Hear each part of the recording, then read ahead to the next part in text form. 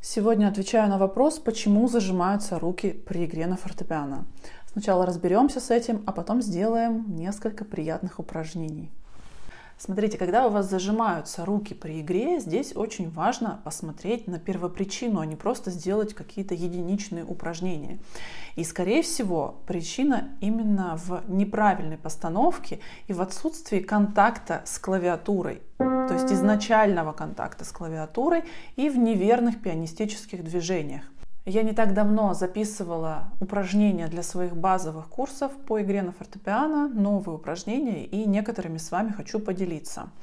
Сейчас мы с вами сделаем одно самое простое упражнение. Оно может показаться совсем каким-то банальным, да, но оно очень действенное и поможет вам обратить внимание на свои руки и понять, в каком состоянии, в принципе, ваши руки находятся. Вы можете его делать как за фортепиано, так и просто за столом. Что нам необходимо сделать? Я называю это упражнение верное взятие одной ноты. На самом деле все начинается с этого взятия одной ноты. Когда мы берем аккорд, ноту, интервал, все что угодно, а у нас уже сразу же рука зажата, то есть нажимает как-нибудь вот так. Нам необходимо привести в норму свои руки. То есть разгрузить изначально руки, чтобы они у нас меньше уставали, меньше зажимались, а лучше вообще не зажимались. Что нам необходимо сделать? Мы сидим очень устойчиво, удобно на стуле. Я сейчас не буду говорить про верную посадку за инструментом, иначе это видео будет минут на 30. Да? А мне хочется дать вам какие-то действенные а, упражнения здесь и сейчас.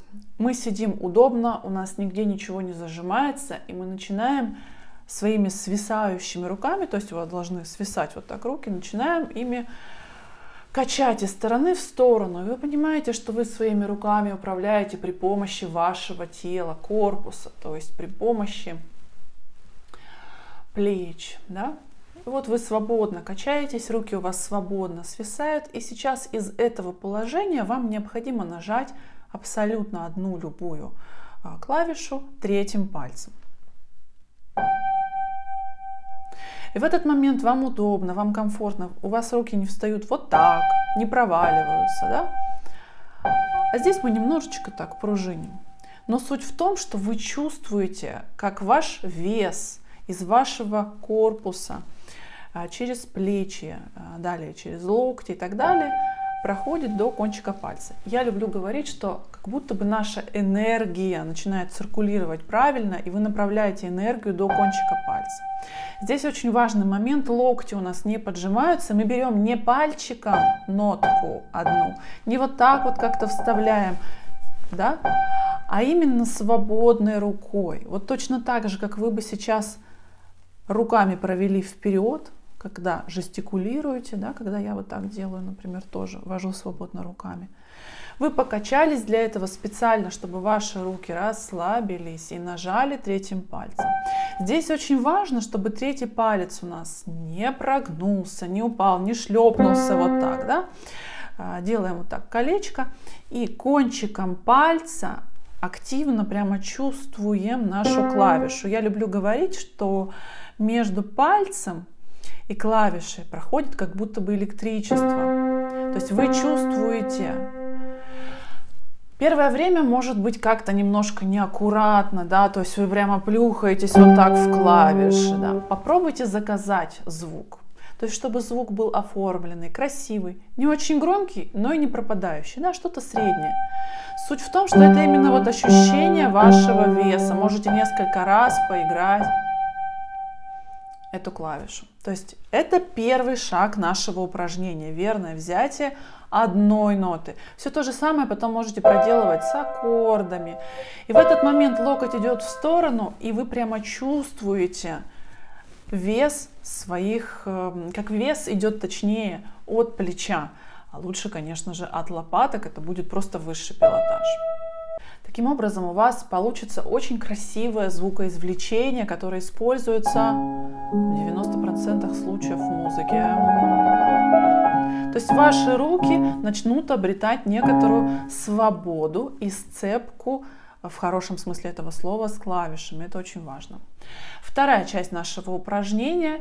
Э, мы Э, берем, э, нажимаем на клавишу уже привычным способом, старайтесь это сделать чуть-чуть пошире, да, для того, чтобы локти у нас не прижимались, чтобы у нас не работали отдельно а, наши запястья, кисти. Да. Мы нажимаем на клавиши третьими пальцами уже привычным способом, локти у нас чуть в сторону, да, вы уже чувствуете этот вес, нажимаем чуть ближе к черным, не вот здесь.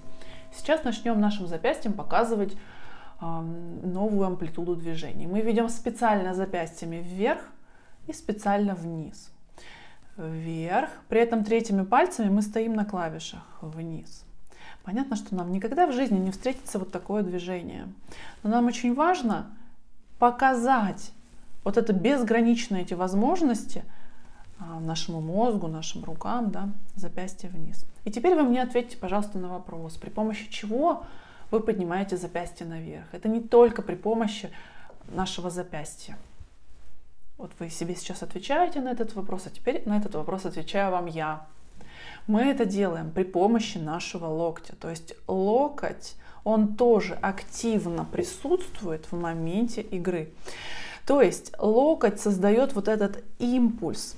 Он делает импульс вперед, и у нас запястье идет наверх. То есть, как будто бы вы вот что-то берете, да, вот ваш импульс.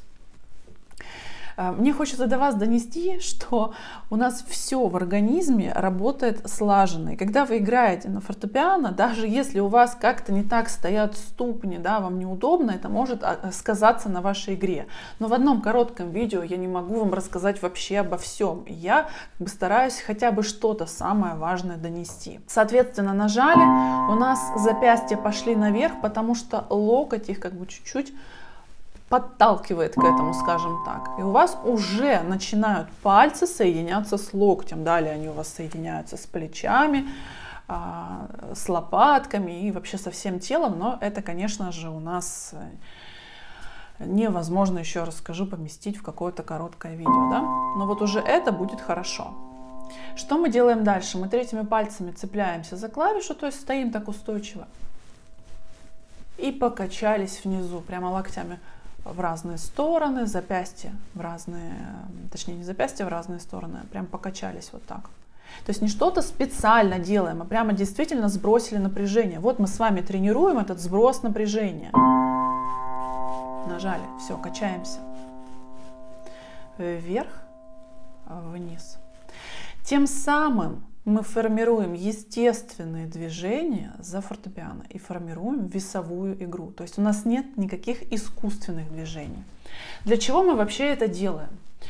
Нам важно не только верно взять ноту или аккорд, нам очень важно снять этот аккорд правильно, для того, чтобы у вас не копилось напряжение. Что это значит?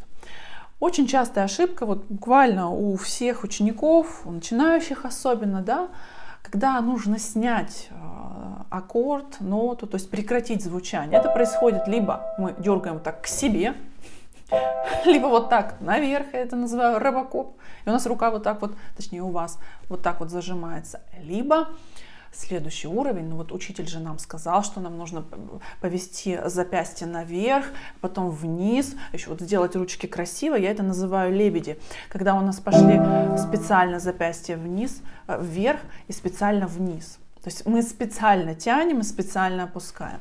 Что необходимо сделать? Вот мы нажали, тренируемся на одной ноте. Нажали ноту, запястье идет спокойно вверх, кисть идет за запястьем и вот так повисает. Таким образом у нас кисть свободна, пальцы свободны, не пытаются чего-то там дотягивать. То есть не снимаем вот так, знаете, вот я вырываю руку, у меня пальцы держатся за клавиши. Нет. То есть все. А, более того, после взятия аккорда или ноты мы на звук уже никак не влияем, не давим на звук, ничего с ним уже не сделаем, не давим на клавиши запястье вверх, кисть освободилась. Нажали, освободилась.